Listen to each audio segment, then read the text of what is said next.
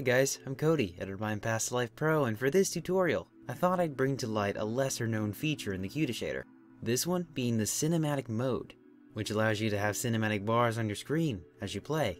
My Minecraft Cinema producers, this tutorial, as you can tell, is for you. And yes, in the latest public Kuda this one being the Kuda v6.0.82 Beta Ultra. Alright, let's begin.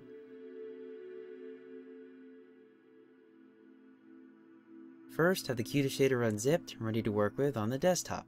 Access the folder, access the shaders folder, and locate final.fsh.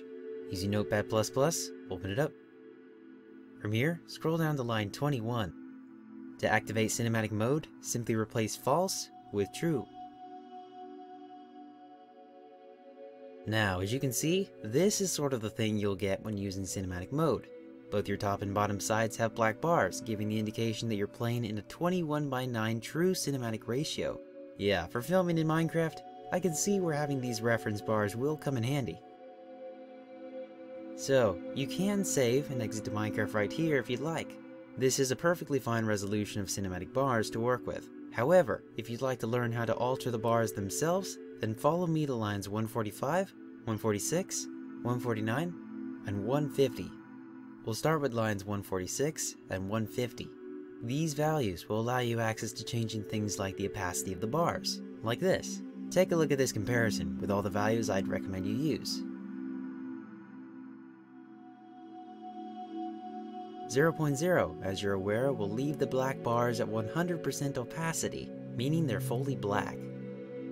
1.0 will leave the black bars fully transparent, meaning they have basically turned invisible. If you change the value to plus equals 1.0, your bars will be completely white. Just a little thing I thought I'd show you. Oh yes, for future reference, line 146 operates the top bar, and line 150 operates the bottom one.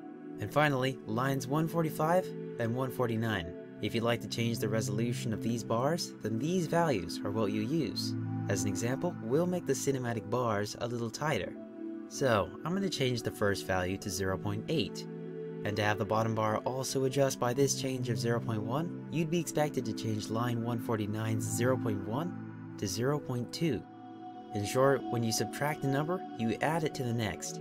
When you add a number instead, you subtract it to the next.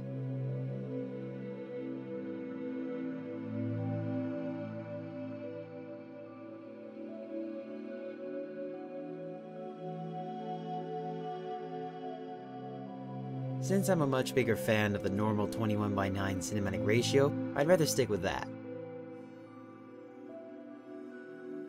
Save, and let's check this out in Minecraft. As with all my Kuda Shader tutorials, versions in time will change, so if you have any questions, then I'd be happy to help you out in the comment section down below. If this Kuda Shader tutorial was of any use to you, then do hit that like button. And before you go, don't forget to check out my channel for some more Minecraft tutorials, some pro quality cinematics, and a bunch of other videos that you shouldn't miss. Anyways, I'm Cody, and this is Past Life Pro, where creativity is always a part of my life, as it will be for yours. Alright, see you guys.